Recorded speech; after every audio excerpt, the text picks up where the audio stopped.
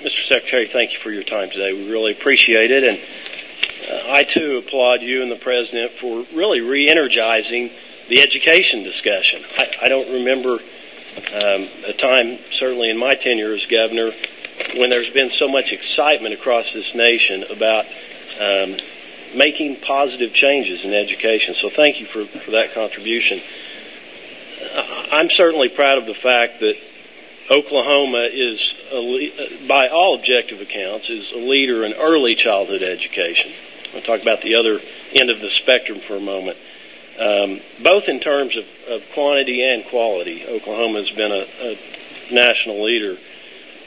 It's very clear. All the brain research indicates that uh, a child's brain is is virtually hardwired by the time they reach the age five, and that we can make the biggest difference in the future of our children by investing in them in those early years.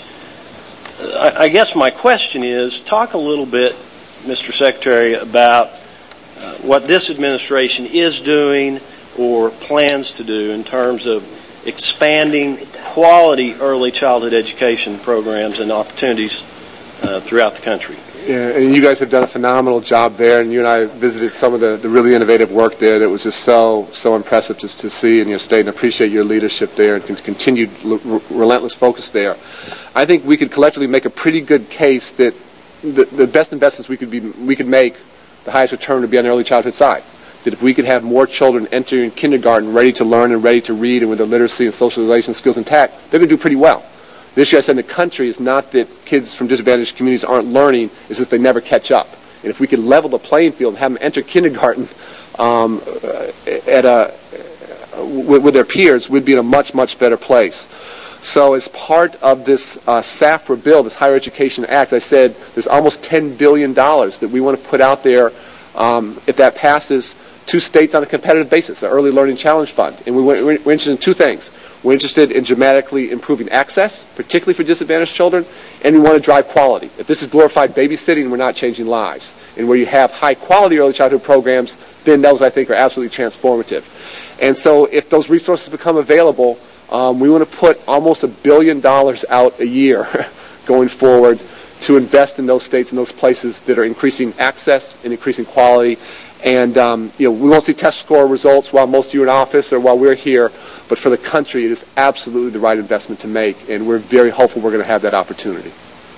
Thank you, Mr. Secretary, and I uh, want to ask you if you have any closing comments. Yeah, I, I just want to say, and I, I just mean this, Uh, it's so important to me. You know, yes, we're, we're lucky enough to have a few dollars to, to put out there, but none of these changes that have happened this year would not have happened without your courage and leadership. None of them would have happened. And so what you guys have done collectively is just absolutely extraordinary to me. And again, I, I you know, came to Washington very hopeful and I'm so much more hopeful today than I am when I came here. And in large part, it's because of the leadership that I've seen from your chairs. And again, sometimes doing things that are contrary uh, to your own political best interests. And so that courage has been am- amazing to watch. Um, as, we, as we move forward to reauthorize ESEA this year, we want to do it this year, again, please reach out to me. Please reach out to, to Carmel. This is real time. We're working now. We think we have a chance to fundamentally break through. Um, I'm only interested in doing this in a bipartisan way. And so if you have thoughts, concerns of stuff we talked about today, things we missed, things that don't make sense, um, please reach out to us now. We want to continue to work very hard on both sides of the aisle to make this happen. And the, and the final thing I'll say is you're going to spend a lot of time with the president tomorrow, and not surprisingly, he's going to focus on education. And what we have is this leadership at the top, you know, at a time when he basically had to flat level domestic spending around the country he's putting another three billion dollars, you know, potentially four billion dollars, an additional billion if we pass if we pass ESEA reauthorization. He's putting a huge amount of more more money into education, and so we have a chance with leadership at the top, bipartisan support in Congress, your leadership at the state level. I think we have this chance for transformational change. I want to challenge all of us to continue to push as hard as we can to not rest. We've had a great first year, long, long way to go, more hard work ahead of us than behind us. And if we can do this, we can change education, I'm convinced, in this country for the next couple decades. And that should absolutely be our aspiration, and we have to continue to push each other to get there. But your leadership has been just amazing to watch, and I want to thank you for what you have done and continue to do for uh, the, the children in your states and for the children of the country. It means a lot to me personally. Thank you very much, Ms. Secretary.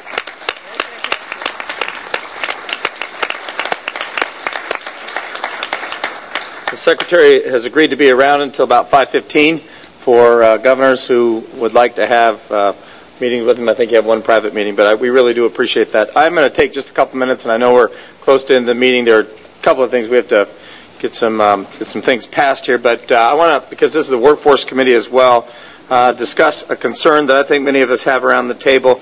There are about 15 million Americans out of work. The national unemployment rate hovers around 10 percent. It's a difficult economic period, but states have supported jobless workers with state unemployment benefits.